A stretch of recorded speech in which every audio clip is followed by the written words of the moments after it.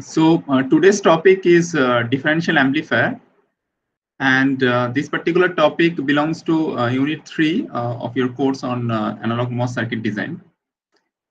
Now, this particular type of amplifier, differential amplifier, is conceptually and notionally different from what you have already studied in this particular course on analog MOS circuit design or even in electronic circuits. So, so far, uh, we have talked about uh, single-ended amplifier. That means uh, both the input signal and as well as the output signal is measured with respect to a potential which is normally constant. And that uh, constant potential we refer like a, a ground potential. So that was the normal amplifier.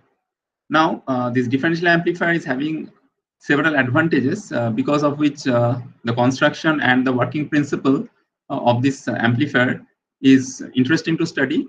And uh, in this particular uh, lecture, obviously, uh, I'll be talking about the differential amplifier involving MOS devices.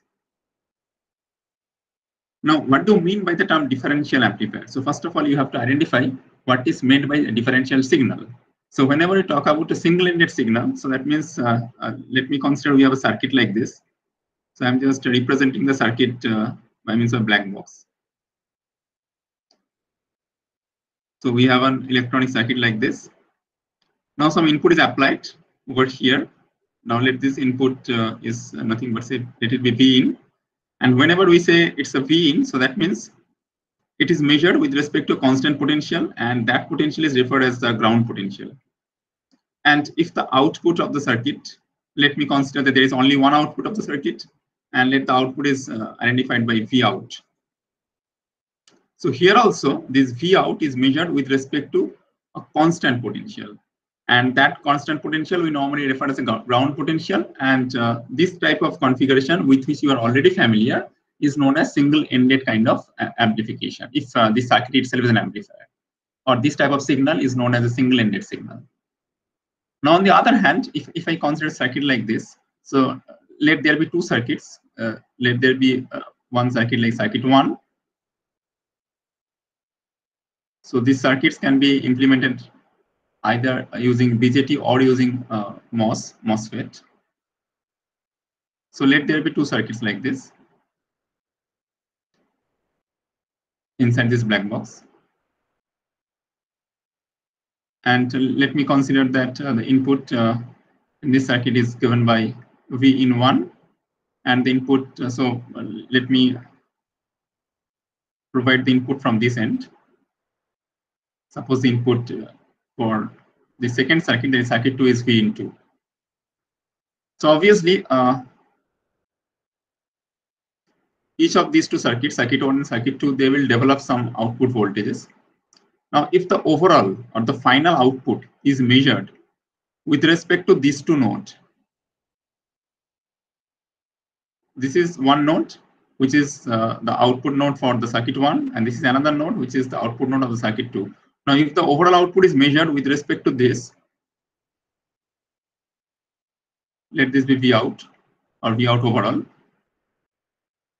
And if the signal excursion at this node, so let, let me just name, suppose this node is A and this node is B. So V out is nothing but VAB, the potential drop of the difference between these two nodes, VA minus VB.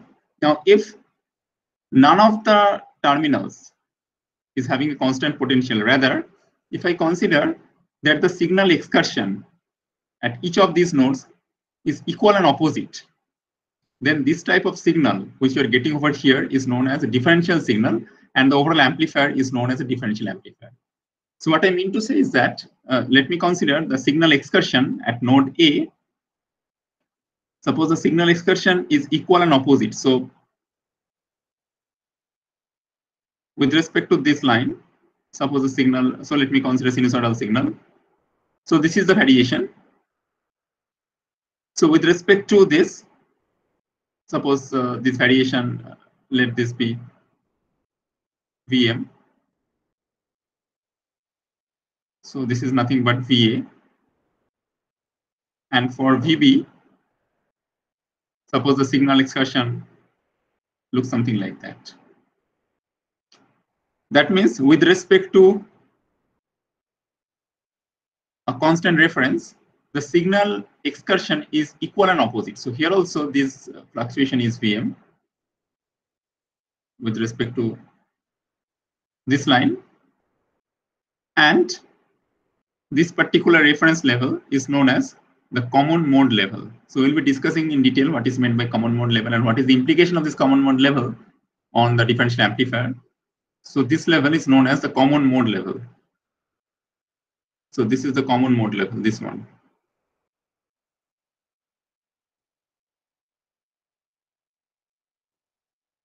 So in fact, we do have two different uh, terminologies over here. One is the common mode and the second one is the differential mode. Common mode level or in short, we can also say CM level, common mode. So this is the level over and above the signal excursion is present and the signal excursion as far as the magnitude is concerned, it is equal. And as far as the phase is concerned, it is just opposite. So as you can see over here, so this level is constant, this is fixed. And with respect to this level, the signal excursion at point A or node A, just like this, a sinusoidal signal. And at node B, it is just the reverse of that. That means we do have a phase shift. But the excursion, as if you consider the corresponding amplitude, the excursion is fixed or excursion is the same. Then this type of signal, which you are getting over here, that is V out, which is nothing but the difference between the two different two different nodes, that is VA minus VB. And if the signal variation at node A and node B follow this type of fluctuation, then it is known as a differential signal and the overall circuit is known as a differential amplifier circuit if the circuit itself amplifies some signal over here. So uh, the next obvious question is that why should we at all bother about the differential amplifier? Because the life was good with the single-ended amplifier, which we have discussed so far with different types of topologies like uh, common emitter, common base, common collector, cascade configuration, common source, common drain, common gate. So different types of circuits we have already discussed. Now, what is the additional advantage what you are getting out of this differential amplifier? Now, to answer this question, uh, uh, you have to once again go back to the, the fundamental attributes of any amplifier. So uh, I, I can uh, once again uh, write it down. The fundamental attributes. So you must admit that gain, the input and output impedance,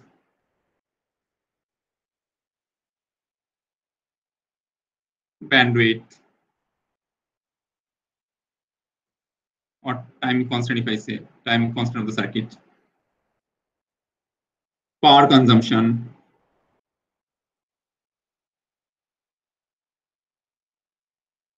So these are the essential uh, attributes pertaining to any amplifier circuit or pertaining to the amplifiers. And apart from that, in this particular course, uh, we have also discussed about one uh, additional important parameter that is the available voltage swing. So that is also very important that we always want that the voltage headroom, that means the level over which the output signal can vary. So that allowable range should be as high as possible for the output voltage to uh, so let me just uh, show you two different. Uh, so let this be like uh, we have one signal like V1, we have another signal like V2.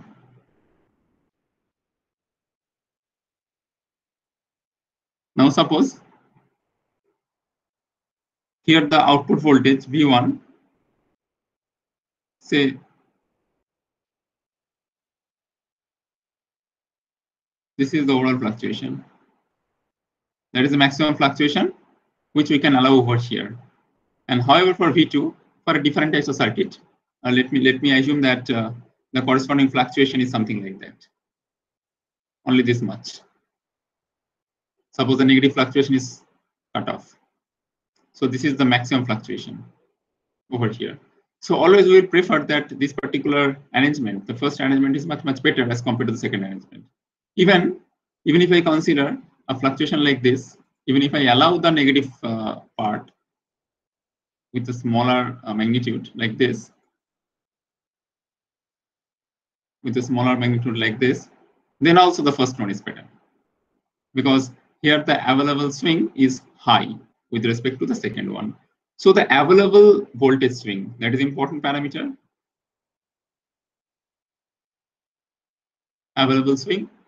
And obviously, whenever you are going to transmit the signal from the transmitter end to the receiver end, then you have to also take into account the another important part that is the noise immunity of the circuit. That means how far your circuit is immune to the environmental noise. So noise immunity. So it is inevitable whenever you are uh, transmitting the signal from the one end to the other end, suppose uh, there is a transmitter in a communication environment and it is connected to a receiver through a wired channel or a wireless channel. And ultimately the signal will be received over here. So you always expect that whatever the signal that you are sending from this particular end, so it should be received in the proper manner at the receiver end. But unfortunately, because of the distortion, because of the noise present in the environment, the variation of the signal gets disturbed. And as a matter of fact, the noise plays a very vital role in determining the circuit topology.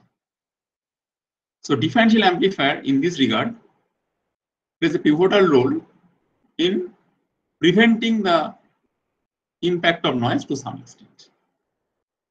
So to understand this point, uh, once again, uh, let me just uh, consider a situation like this. Once again, uh, let, let, me assume that uh, we have a circuit like this.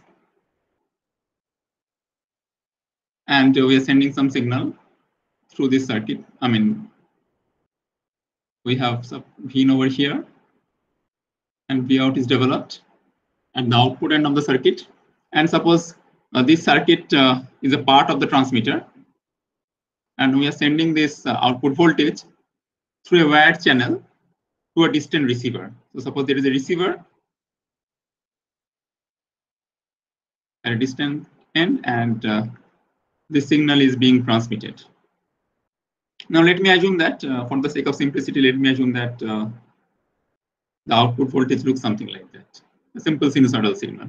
But we know that whenever we make any attempt to transmit the signal over a channel, over a noisy channel, because of the environmental noise, the output or the input to this uh, receiver will be somewhat distorted. So let, me assume that uh, it is something like uh, Suppose this is the corresponding fluctuation or corresponding signal that you are receiving over here. So you must argue that uh, this signal and this signal, although look similar, although as far as the pattern uh, is concerned, it, it looks similar, but it is not exactly the same. So what is done here? Now, if I know that the noise is going to affect all the signals impartially, if I assume that the noise is going to affect all the signals impartially, then the fluctuation for this signal and fluctuation for a signal like this will be the same. Let me assume that this signal is V out and this signal what we are receiving over here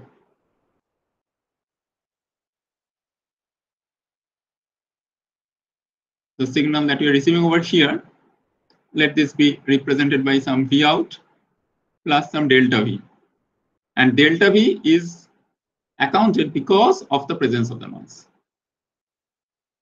Now let us say that uh, apart from V out, we are sending another signal and let, let me call this signal as V out dashed. And uh, over here, we are getting a signal like this. So the signal is being transmitted over the same channel. And let me assume that this is the corresponding fluctuation for the signal.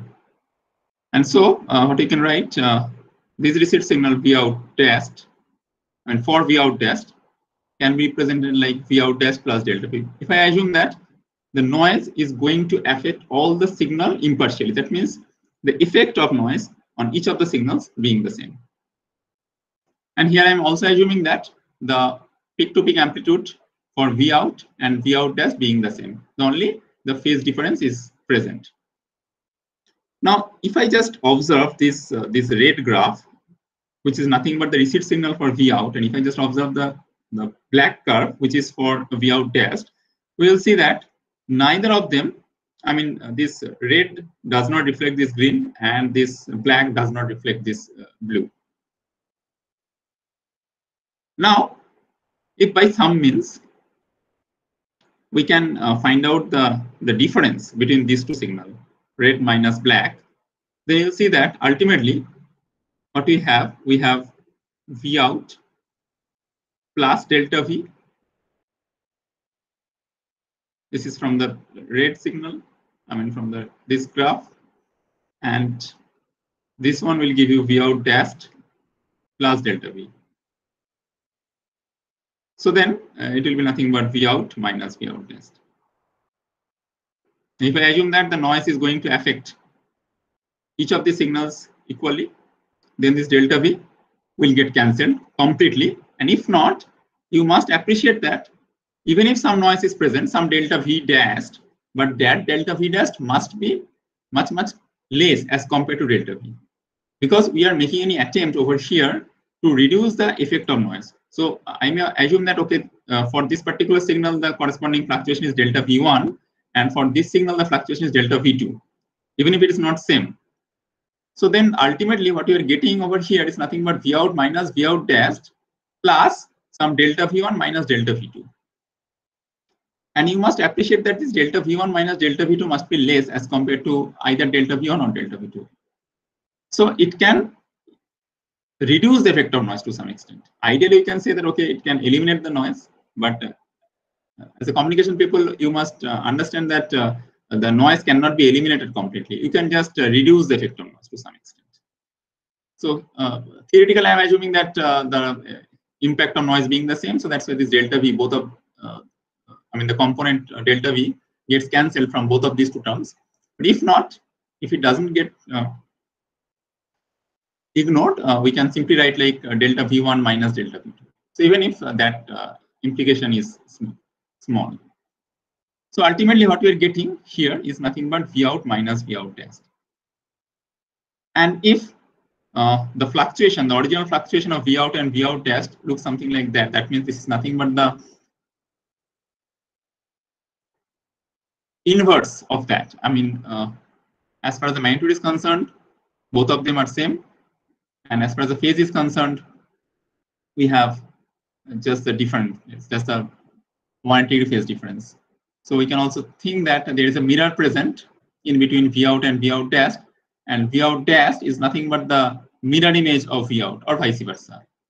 So under this particular condition, uh, we can say that the output what we are getting over here is uh, nothing but, uh, so if we just uh, find out this output, V out minus V out dash so that will be nothing but amplified version like this.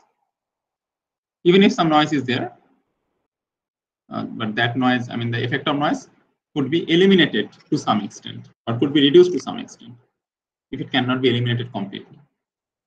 So noise elimination is one of the important uh, attributes of this differential amplifier.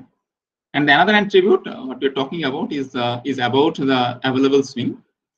So to understand this point, uh, let, let us uh, take a different types of circuit. I mean, uh, a different source of noise. So let, me assume that we have a MOS amplifier like this, with which you are very much familiar. A common source type of MOS amplifier with a, a drain resistance given by RD.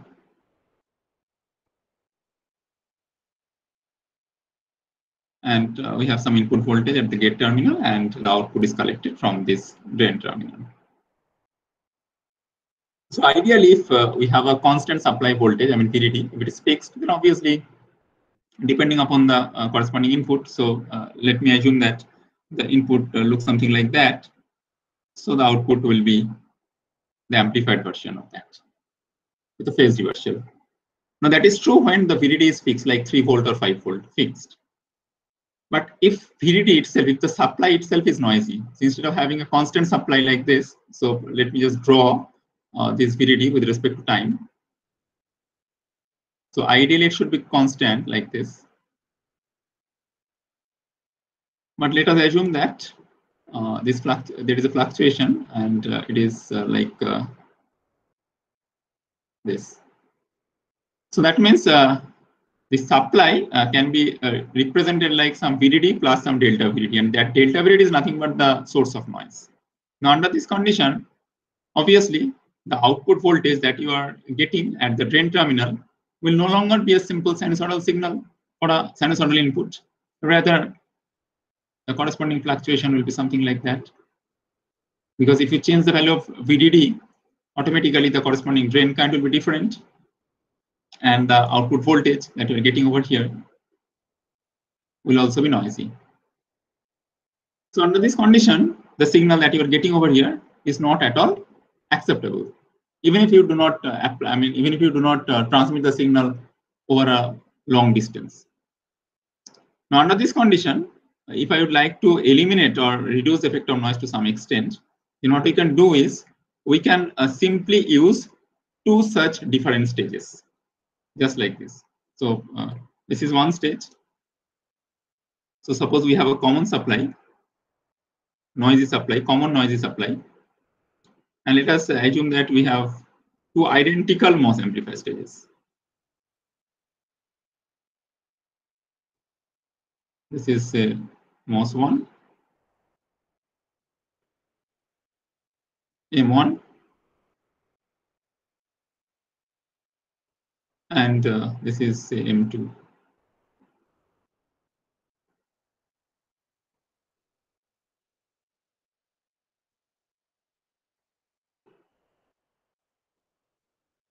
And uh, let me assume that uh, since we are uh, considering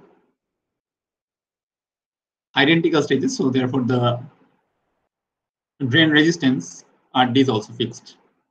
It is same. And we have a noisy supply, VDD. So here you'll be getting some voltage. Here you'll be getting some voltage. Now let this be represented by V out 1 and let this be represented by V out 2. Now since the noisy supply is being provided to each of these different MOS circuits, we can say, then the corresponding fluctuation over here it will be something like that. Suppose uh, we do have a fluctuation like this. Suppose this is for V, this is the uh, diagram for V out one, and say this is the waveform for V out two. So now, if you find out the overall output as the difference between these two, so if I consider that uh, the final output of this differential pair is given by this voltage with respect to this voltage. So then it will no longer be a single-ended amplifier, rather it is known as a differential amplifier. So obviously uh, you have to provide the corresponding input signal accordingly. So here the input looks something like that, and here the input looks something like this. So since you have a simple single stage common source amplifier, so there will be amplification apart from phase shift. So if I consider these two outputs, V out 1 and V out 2, so they will be affected equally by the supply voltage VDD. Now, instead of taking the individual outputs like V out 1 and V out 2, if I take the difference between them, then obviously the corresponding deviations, corresponding disturbances can be eliminated to some extent and you'll be getting a smooth waveform. So that is the uh, advantage which we have already mentioned uh, in the last example as well. Now the second thing is that uh, you know that if I consider single uh, uh, single stage amplifier like this common source amplifier. Now for this particular case, uh, you know that in order to ensure that this MOS is operating in the saturation region, the condition is that the drain to source voltage should be greater than the gate to source minus the threshold voltage. So that is the condition to maintain M1 in saturation. So since the source is grounded, so V out one, uh, we can say that V out one is or has to be uh, greater than or equal to VGS minus VTH1. That is the condition. So this is the minimum value for V out one to make M1 in saturation. And what should be the maximum value of V out one? The maximum value is VDD. When the MOS is off, V out one will be VDD because there is no current flowing through the circuit. Then what is the fluctuation? So the available swing, so maximum available swing for a simple single stage single ended amplifier, which we have discussed in the last module, last unit, the maximum fluctuation, maximum available fluctuation for V out. So the maximum fluctuation for V out, it will be like peak is VDD and minus we have VGS minus VTH1. So that is the maximum fluctuation. Now what happens for this differential arrangement? For differential arrangement, whenever the V out one value, I mean, uh, if I just uh, draw uh, these two waveforms properly over here.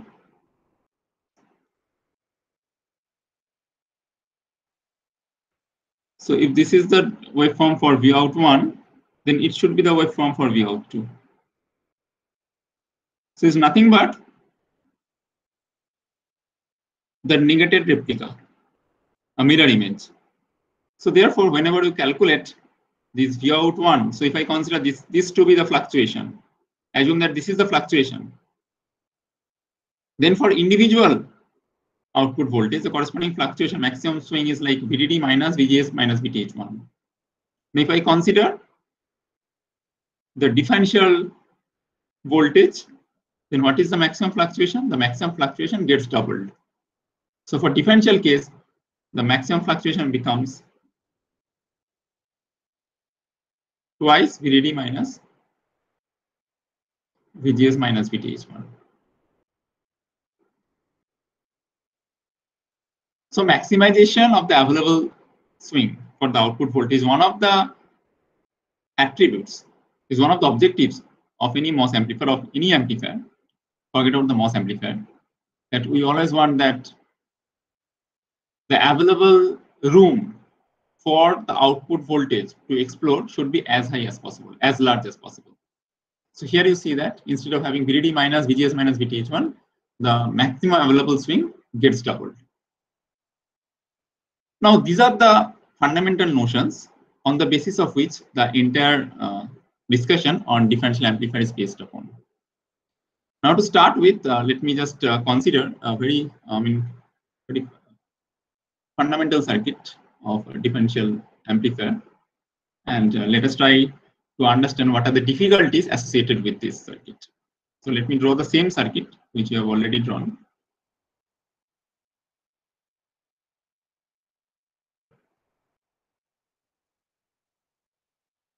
So these two stages are identical, uh, consisting of uh, two MOS like M1 and M2. Is grounded.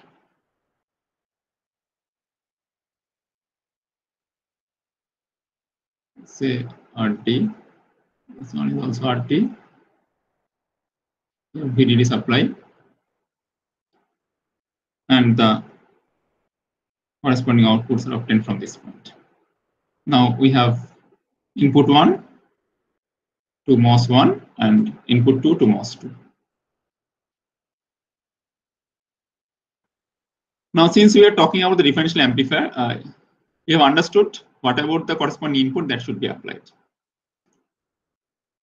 The input 1 and input if I consider, both of them are based on a fixed line and over and above this reference level, the signal fluctuation is present and the signal fluctuation is equal and opposite in nature. That is the fundamental notion of differential amplifier.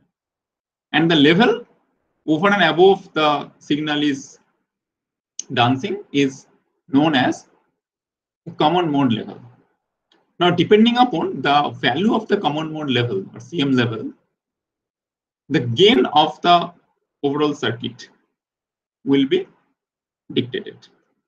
That means if I consider uh, two different scenario, let me assume that uh, uh, we have a situation like this. Say uh, input versus output.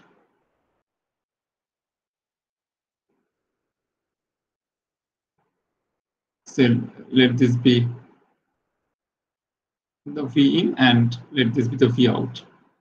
So since they are uh, having based on a single line, so let me assume that this is the V in CM level. So this is the common mode level. Now we do have uh, two different fluctuation.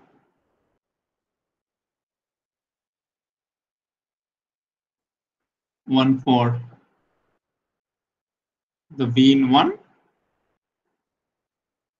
Suppose V in one looks like this. This is for V in one. And for V in two,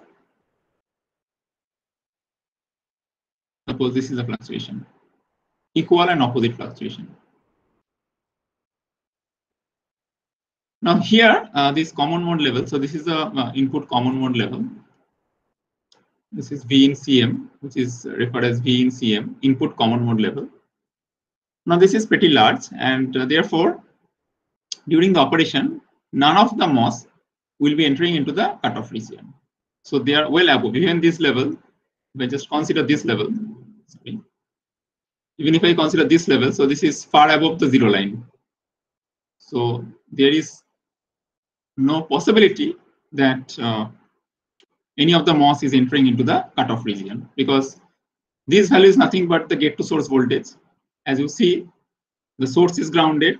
So the input voltage is nothing but the gate to source voltage. So you have to ensure that this gate to source voltage should be large or should be high with respect to the threshold voltage. Now, since it is pretty large because of a higher value of V in CM, so automatically there will be no problem in finding out the final output voltage. So accordingly, if I just consider a scenario like this,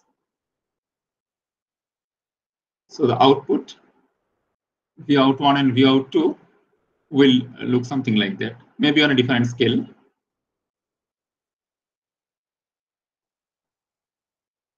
So this suppose this is for V out 1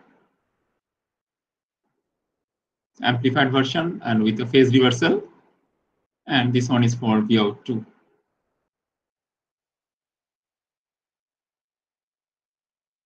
So equal and opposite expression.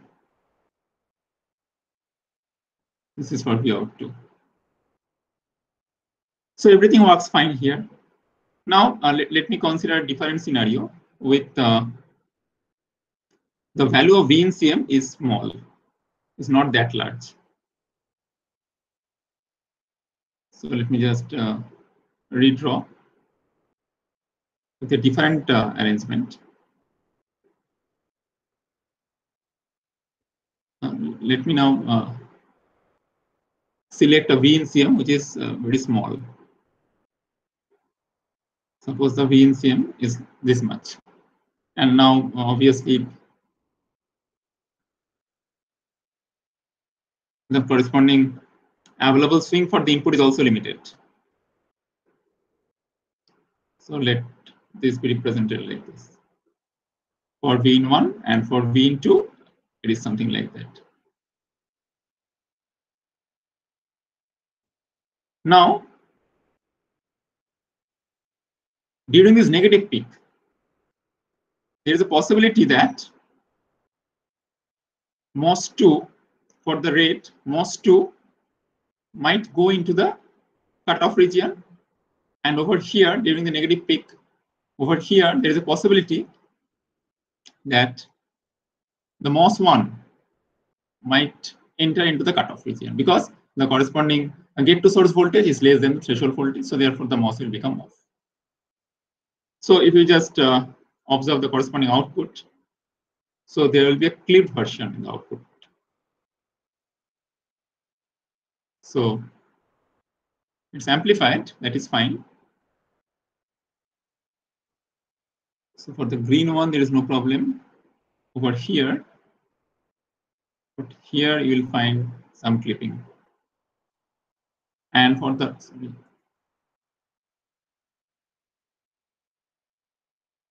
and for the red one, it will be clipped at this point, and there's no problem during this time. So clipping takes place. So it is not at all desirable. Now, what is the reason behind this clipping? Clipping is the consequence. What is the reason? What is the cause behind this? The cause is the value of V in CM affects the overall performance of the circuit, overall performance of the amplifier. Because if you change the value of V in CM, accordingly, the corresponding bias currents for each of these two MOS devices will be different. The ID1, ID2 value under no signal condition will be different. If you select a very high value of V in CM, then obviously the no signal drain current will be large as compared to this one, where the V in CM is pretty small. And moreover, if you change the ID value, the drain current, so it is having a serious implication on the mutual conductance, transconductance, and transconductance in effect modifies the value of the voltage gain. Then ultimately, the overall performance or overall behavior of the circuit is greatly influenced by the value of this V in CM. But we cannot always dictate what should be the uh, value of V in or input common mode level. So what is the solution? The solution is that we can, uh, I think we can go to the next slide. The solution is that instead of connecting the source of these two MOS devices to ground terminal, let us put one current source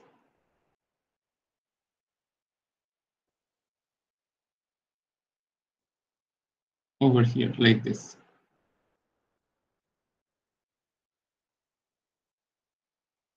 So, so far we have seen if I just consider the last diagram.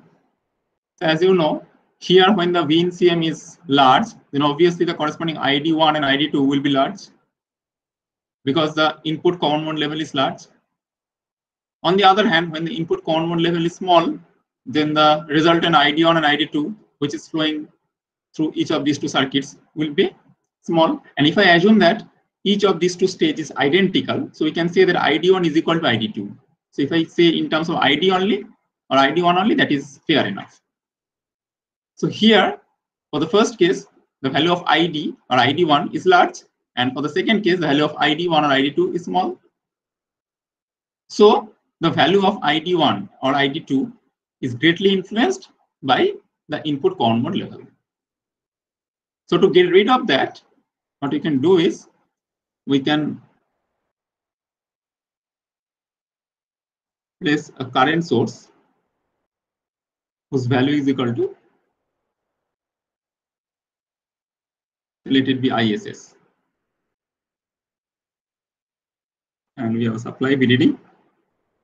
Let me just complete this uh, circuit diagram. So we have V in 2 over here, V in 1 over here, and V out 1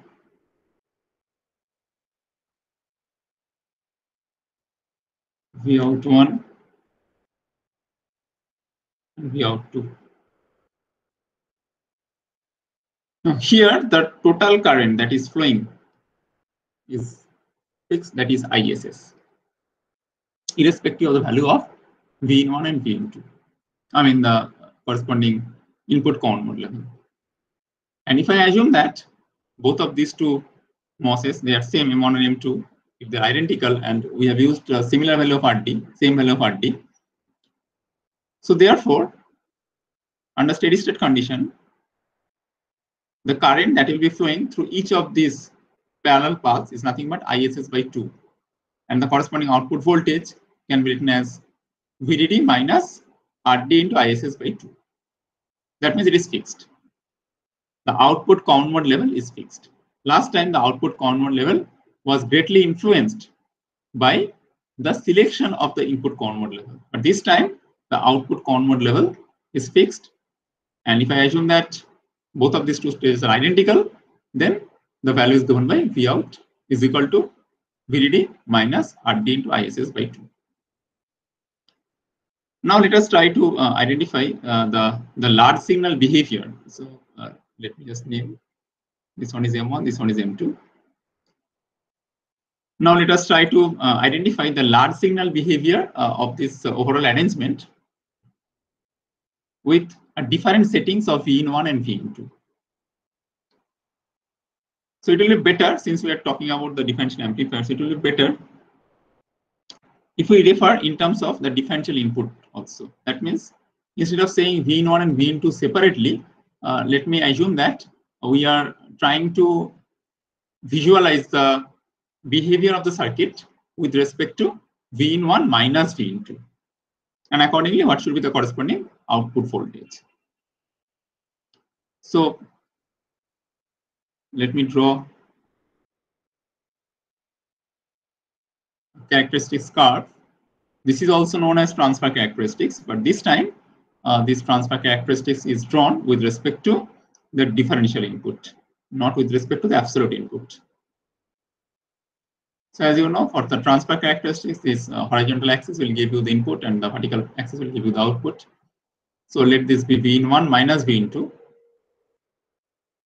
And here uh, I'll be drawing uh, two graphs, uh, I mean two waveforms on a single graph. Now let me assume that uh, V in 1 minus V in 2 that value can be negative as well as positive. Now when V in 1 minus V in 2 is, is very small, I mean it's a negative, I mean V in 1 is smaller than V in 2 and very very smaller than V in 2, then what happens? out of these two MOS, M1 and M2, suppose Vn is very small, let it be 0 or even less than 0, and Vn is positive. Then what happens? Then the MOS M1 will be off, and the total current, ISS, will be flowing through the second MOS, that is M2. Then what will be the output voltage over here? So for V out 2, the output voltage is nothing but VDD minus ID ISS into RD. And for V out 1, the output voltage is nothing but VDD because there is no current flowing through the circuit.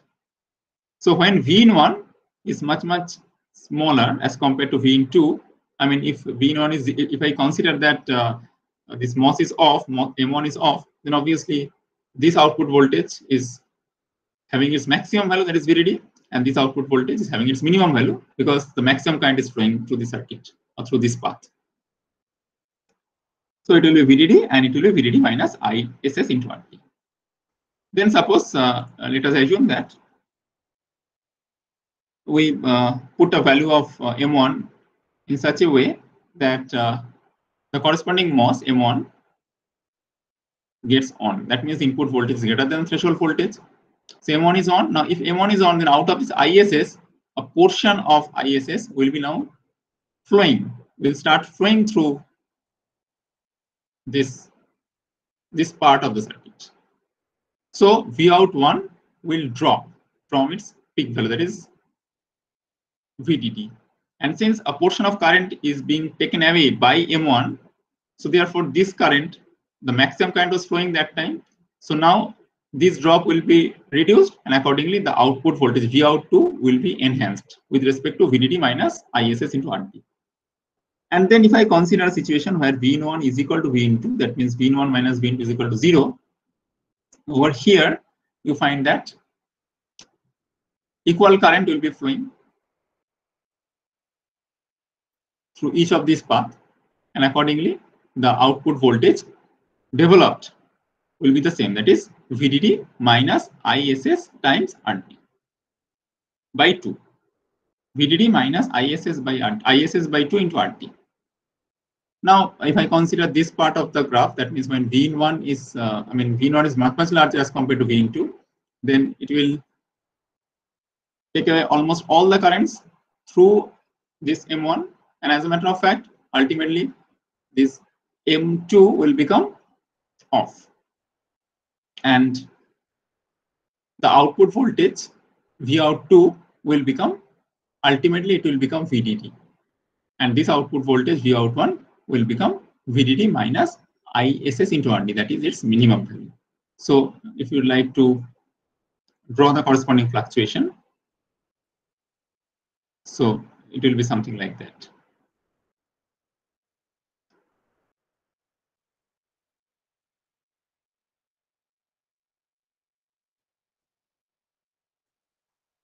I think uh, I can just uh, So it starts from the.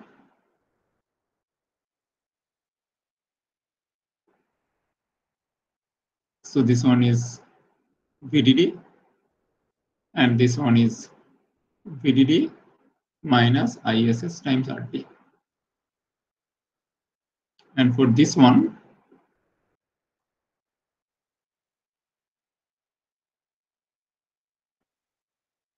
something like that. So this one is VDD. And this one is VDD minus ISSRD. So as you understand, this is for V out 1, this graph, and this graph is for V out 2.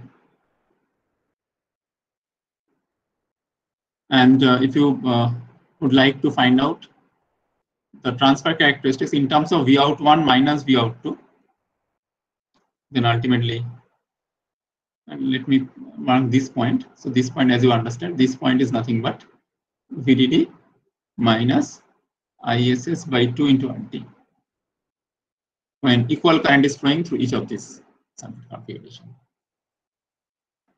Now let me just uh, show you the fluctuation of uh, V out 1 minus V out 2 with respect to V in 1 minus V in 2.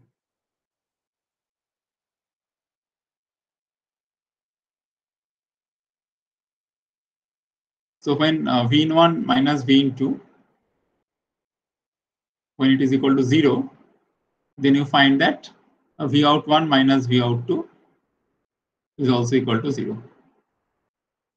And when V in 1 minus V in 2 is negatively large, then this value is nothing but V out 1 minus V out is nothing but ISS times RD. And when it is positively large, V in 1 minus V in 2, then the value, I mean, V out 1 minus V out 2 is equal to minus ISS into RD. So uh, let me just uh, show you the fluctuation. So it's something like this. It's not good. Let me just uh, correct it.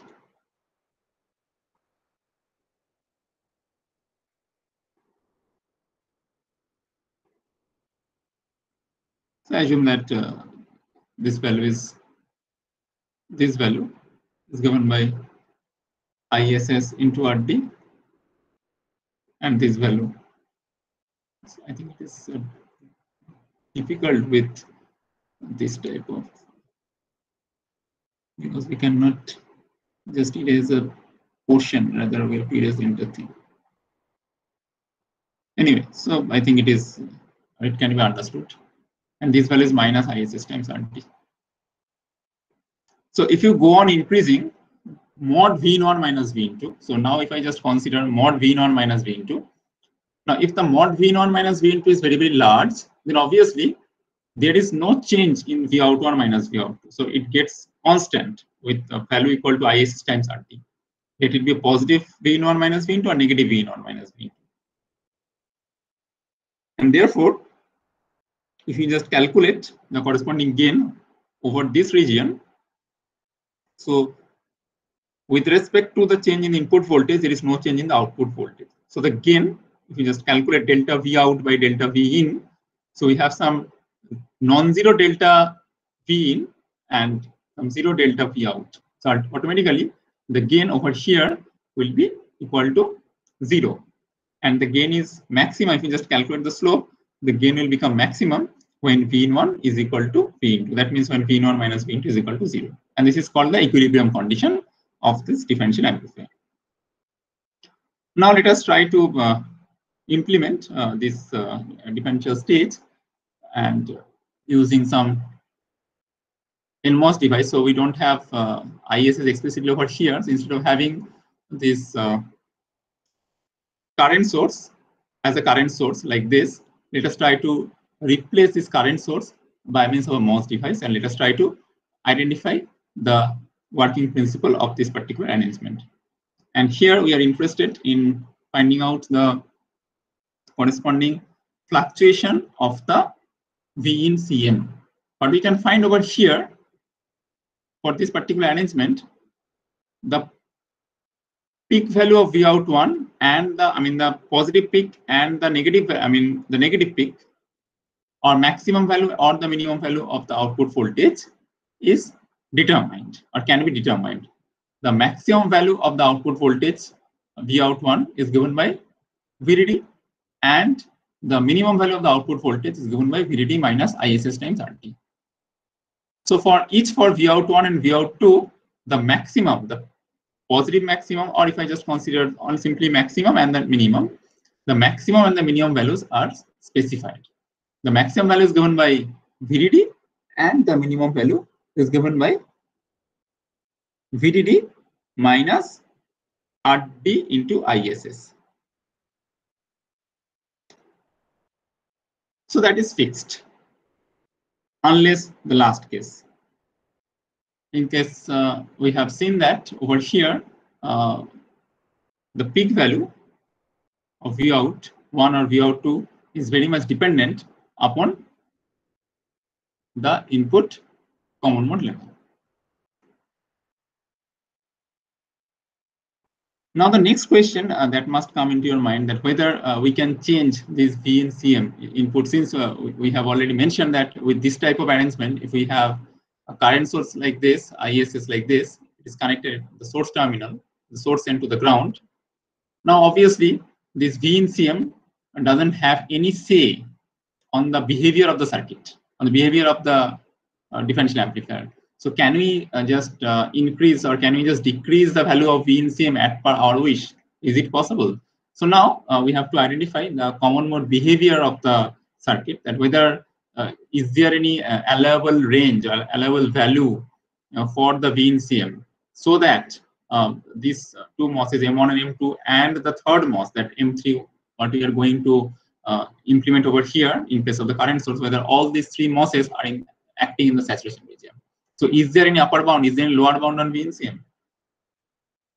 So to understand this question uh, or to understand the notion of uh, this type of behavior, uh, so let me just uh, once again draw the same circuit, but this time uh, the current source is being represented by means of an NMOS device.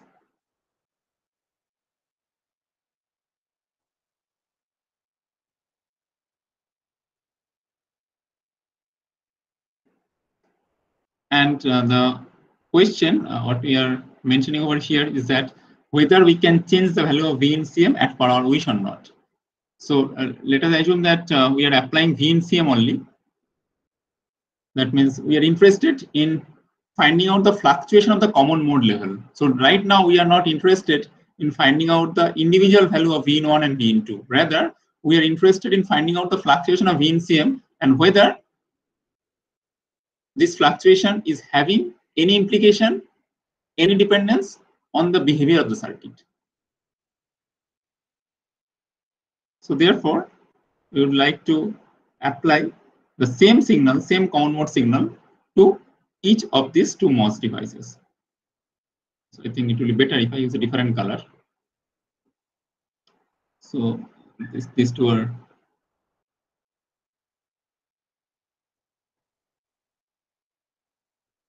connected together. That means the same input is being applied to each of these two MOSFETs. And right now we are interested in observing the common mode behavior of the circuit.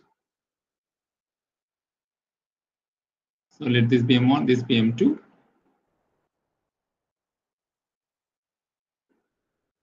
And uh, the current source is being implemented by means of a third MOS. And let me call this MOS as M3. And let there be a constant voltage so that this M3 acts in the saturation region.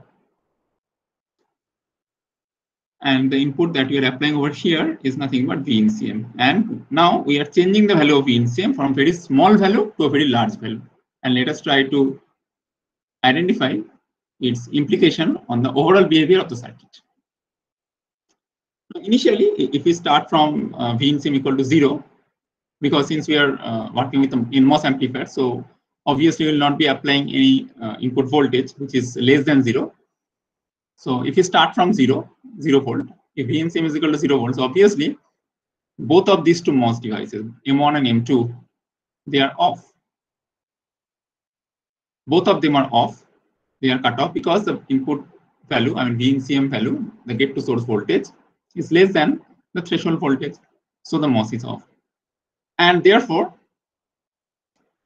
this particular MOS, this M3, if I just consider the potential, let me just uh, point out this one as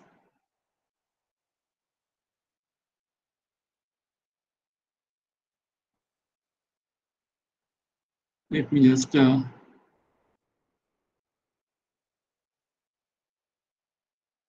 let this point be the corresponding potential, let this be Vx. So if uh, V in Cm, if it is zero, it's very small, then both of them are off. M1 and M2, both of them are cut off. And accordingly, uh, we can say that both ID1 and ID2 is equal to zero. So in fact, uh, because of the identical nature of these two stages, and we have also applied the same input, so everywhere you will find that ID1 is equal to ID2. So that condition holds good. But when uh, V in is equal to zero, then obviously uh, ID1 equal to ID2 equal to zero. And uh, accordingly, the M3 will be acting in the deep triode region. So now, suppose we are trying to increase the value of V in CM from 0 volt. And uh, if I assume that uh, both of these two MOSFETs are having the same threshold voltage, VTH, for example, and then when V in CM just exceeds the threshold voltage,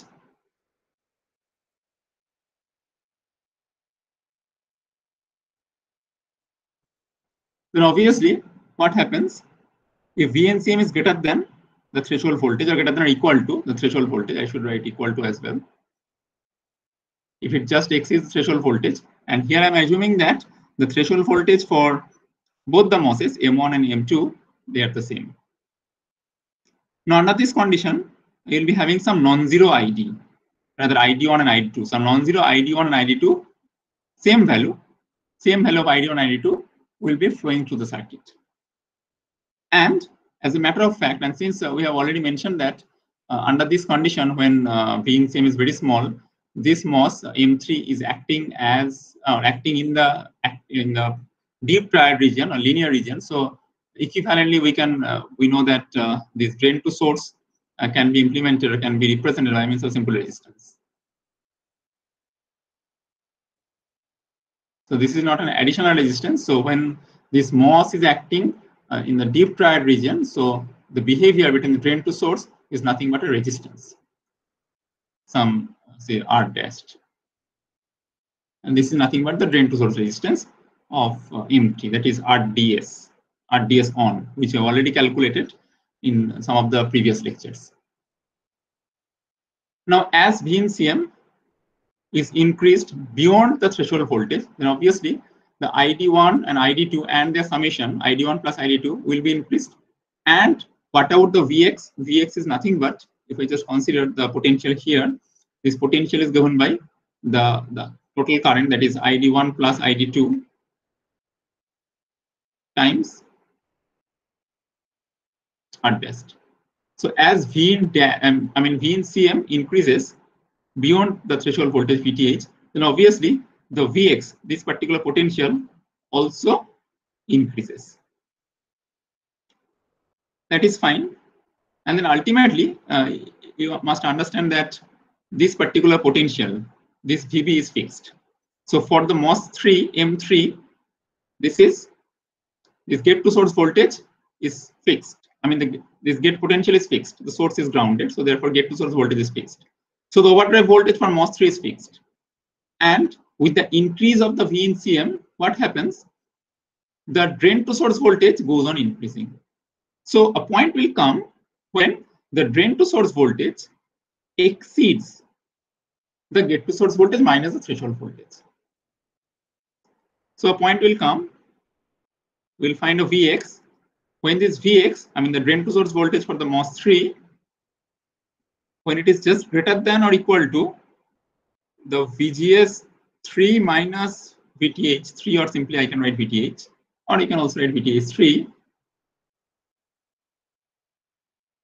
then this M3 will enter into the saturation region. So from the deep triode region, it will uh, enter into the saturation region. So initially, when V in CM was small, it was in the deep triode region, and as you are going on, increasing the value of uh, V in CM, it will move from the deep triode to triode, and then from triode to saturation region.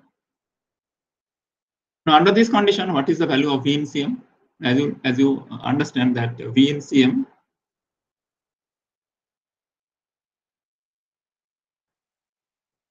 minus Vx that is equal to VGS1. So therefore, V in CM is equal to VGS1 or you can also write uh, VGS2, no problem. So V in CM is nothing but Vx plus VGS1. Now when uh, Vx is greater than or equal to VGS3 minus VTS3, so therefore it suggests that V in CM when V in CM is greater than or equal to VGS1 plus VGS3 minus VTS3, then all these three transistors, M1, M2, so initially M1, M2, they were off, and when the input voltage is just greater than the threshold voltage, so they are becoming on in saturation region, but initially M3 was uh, deep triode, now, when the input uh, CM, uh, I mean, CM, whenever it exceeds uh, VGS1 plus VGS3 minus VTS3, then all three transistors, M1, M2, and M3, they are in the saturation region. And that is the objective. That is our objective. We always want that all these three transistors will be in the saturation region because uh, they will be using as an amplifier. I mean, M1 and M2, and M3 will be acting as a current source. So from this particular expression, uh, we find uh, what is the minimum value for the V in CM. The minimum value for V in CM is given by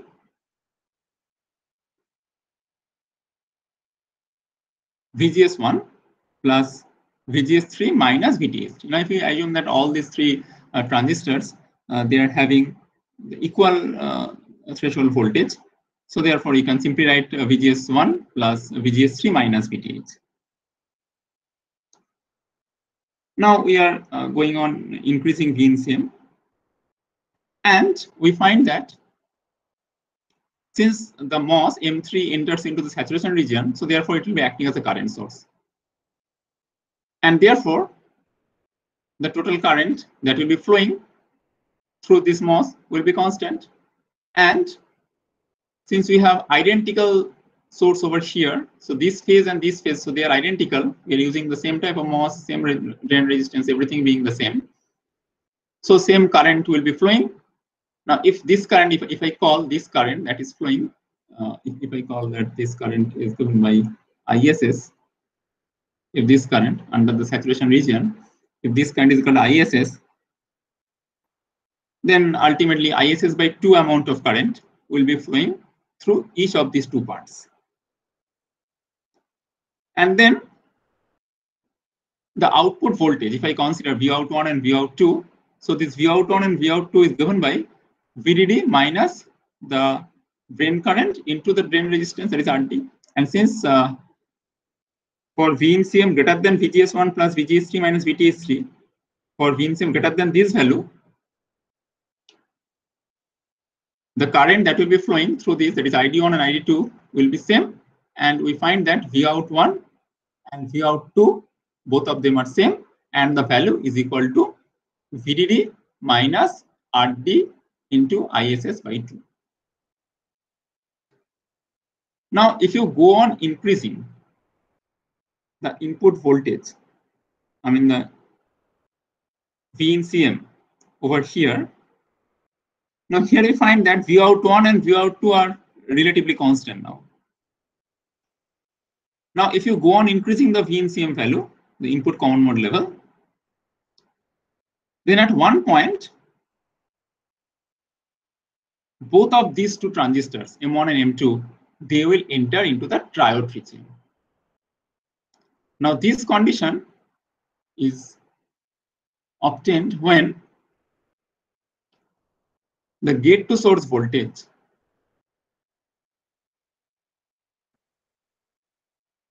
is, I mean, VGS 1 minus VTH when this value is greater than VDS. Then M1 and as well as M2 will enter into the triode region. When VDS is greater than equal to VGS1 minus VTH, then it was there in the saturation region. Now here, what is happening? We can simply write this as VG minus VTH. When VG minus VTH is greater than VD, because the source potential, uh, I can take it, I can just ignore from both the sides. So as you go on increasing the VG value, that means the gate potential, so the overdrive voltage will be increased, but the drain potential is remaining constant because we have a constant current source. So this potential V out 1 and V out 2 gets constant equal to VDD minus ISS by 2 into RD.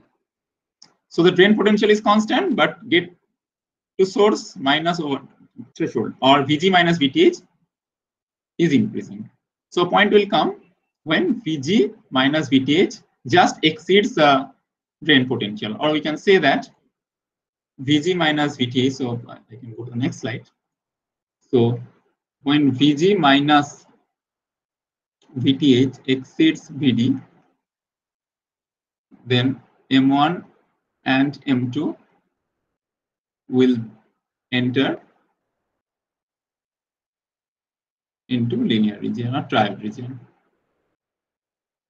But that has to be prevented. So what is Vg? Vg is nothing but V in Cm.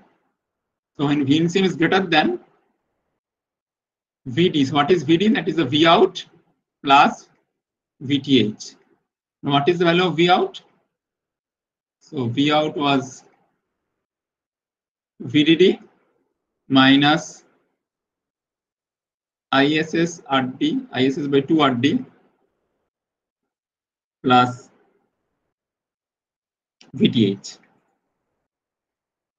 Now, when V in Cm exceeds this value, then both M1 and M2 will enter into the linear region.